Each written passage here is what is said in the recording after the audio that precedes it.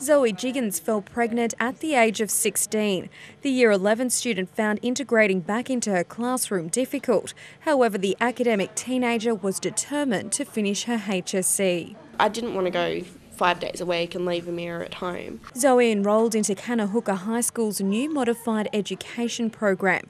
Teenagers from year 7 to 12 are offered a flexible learning environment, re engaging students who have a low attendance rate or are at risk. About eight of them are um, pregnant and parenting young people.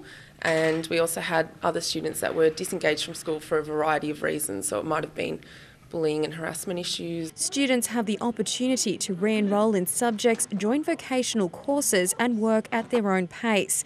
Weekly social events and playgroups are teaching them life skills. I can work at my own pace pretty much. It's like if I don't finish my work for that week, it's fine because I have other responsibilities, obviously.